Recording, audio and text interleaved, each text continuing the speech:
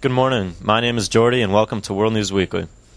In a daytime raid in Iraq, gunmen wearing the uniforms of the Iraqi National Police kidnapped between 100 and 150 people Tuesday morning. The kidnappers surrounded a four story building with at least 20 vehicles, taking captive guards, employees, and civilians.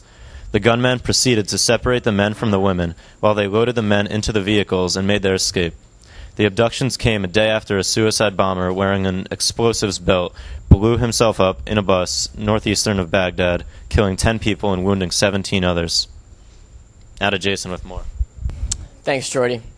Apparently, not everyone is laughing at the recent release of the film Borat.